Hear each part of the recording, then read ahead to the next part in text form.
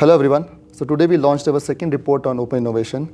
Open innovation plays a key role in bringing the stakeholders together and this uh, topic has been the uh, key buzzword uh, in amongst the corporates, uh, startups and government and of course investors and uh, academia stakeholders.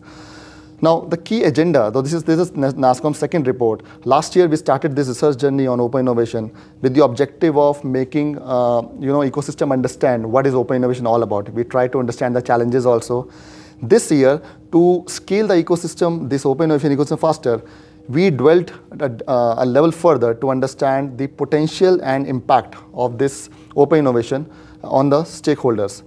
Uh, also, in this report, the key USP is that we are trying to, you know, uh, put down a new matrix for measuring the success of these innovation programs. Because what we feel that uh, currently the innovation is not getting measured properly and that's why we laid down a matrix uh, on NPS, Net Promoter Score and a couple of other points to uh, help ecosystem stakeholders to understand that how to measure these properly or you know, your innovation programs. So this year, we did this report in partnership with Avasant Global. So I have with me uh, Akshay Khanna, who is a managing partner with uh, Avasant Global. Akshay, welcome to the chat. Thank you.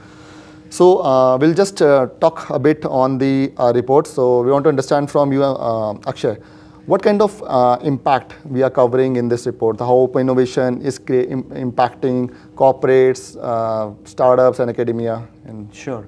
No, like you mentioned, I think it's a very important topic, um, very timely. Um, you know, innovation is at the forefront for all major organizations, whether, you know, you look at global organizations, organizations in Fortune 500, 2000 mm. and so on.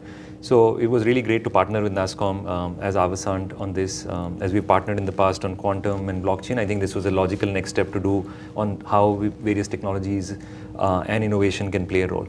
So um, I think speaking in terms of impact, um, the, you know, in our role as Avasant, we work with a lot of Fortune 500, Global 2000 organizations. And what we see with them is this constant battle between them trying to do cost optimization and them trying to do innovation. Mm. And in, in order to drive innovation, they need to get creative. They need to get you know innovative in terms of you know trying out new models. And that's I think exactly where open innovation fits in. It provides a very nice rubric for them to collaborate with the ecosystem at large, mm-hmm. whether it's startups, whether it's academia, whether it's investor community, whether it's incubators, accelerators, and so on. So if I talk about uh, the the uh, corporations or you know the the large enterprises first. Um, like I said, their constant challenge is, you know, how do you balance innovation and cost optimization? Uh, how do you drive transformation? So what we've seen as and, and as, as the study shows, uh, they can see you know benefits all around. So whether it's coming you know to launching new products faster, mm. whether it's coming uh, to driving efficiency in their existing operations because they're able to bring in technology and bring in innovation to to drive efficiency and improvement in their existing processes, whether it's doing cost takeout and so on. And as much as uh, nearly I think four out of five corporations have come back saying that you know this open innovation really helps them achieve one or more of these objectives. And i think that's tremendously powerful because it gives them a way to, to drive uh, you know uh, improvements in their their setups. On the other hand when we look at startups um, it's it's i think even equally if not more beneficial mm -hmm. for startups because what it does uh, for startups when they're collaborating with academia and corporations here is it gives them access to solving real world problems, problems that really matter for these organizations. And, and we see tremendous benefit for them to test their technologies, mm-hmm. drive them to market, uh, launch them quickly. And again, I think over 80% of startups that we've kind of seen, surveyed here, have reported an increase in their revenue because they mm-hmm. get direct access to, you know, selling to these, these te- their technologies or um, uh, innovation uh, to the larger corporates and then also subsequently increase in their valuation, giving them more access to funds and then driving this virtuous cycle of innovation. Mm. So I think all in all, if I look at the two major constituents, both on the, the large corporations as well as the startups, I think there's tremendous benefit. And of course, it helps Uh, the broader ecosystem has a role to play. I think academia has a role to play. Universities have a lot of um, you know, capacity, especially in India, where we have, you know, uh, you know, millions of PhD hours, you know, available for, for this um, for this activity, whether it's incubators, accelerators, and of course industry bodies and, and the government policy making. So I think um, there's there's a lot of benefit for all the stakeholders to drive the innovation agenda forward. Absolutely, and that's the impact and benefit that we're trying to highlight in the report, and uh, the impact is visible, and we have to make people understand that there is an impact and uh, that's when my next question lies in. So impact is visible, right? But to scale the ecosystem, we have to show the stakeholder the potential that lies with yeah. the open innovation ecosystem. So what are the potential that we have highlighted in the report? Well, I, I think, I mean, truly from an India perspective, I think the just there's unlimited potential, mm-hmm. right? Um, today, uh, we, we are in top five in terms of GDP.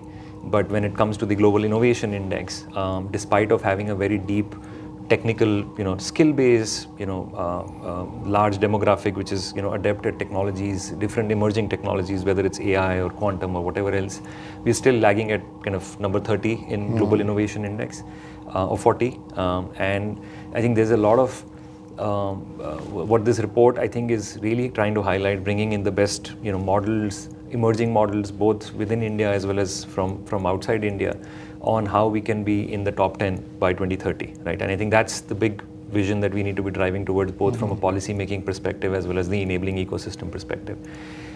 You know, coming down, I think you know, um, you know, from that kind of big goal that I think we've we've outlined in this report, working together with you, is also you know, there are some very tangible benefits to these organizations. We've seen uh, for larger corporations, there's almost 1.25x impact in terms of bringing their products faster to market. For a large corporation which is you know working on um, you know global scale problems and so on, something like that is huge, right? If they're able to bring their product to the market a lot sooner, you know, even a couple of months sooner, I think that allows them significant competitive mm. advantage. So it's a very hard dollar value uh, impact on that. I think it's similar on uh, startups. I think within three years they see a lot of impact because their their technologies are getting commercialized sooner, especially more so important for deep tech. I think as exactly. we've seen, uh, because they need commercialization sooner in their cycle rather than you know waiting out a ten you know five seven ten year cycle. So I think there's a lot of potential in terms of achieving those objectives. Um, and then, like I said, I think it creates that virtual cycle of, of innovation. Mm-hmm. Um, kind of furthering you know future growth and then bringing in more entrepreneurs mm-hmm. into it and then creating that uh, cycle great point akshay and then in a nutshell open innovation is a way to you know uh, grow grow not only in terms of customer base, revenue, valuation that anyways will get it, but to grow effectively, efficiently, and faster. And that has been the uh, you know the agenda of most of the companies and startups and academia because in a in a dynamic environment that we're living in, we are global macroeconomic uh, economic factors are hitting us a lot.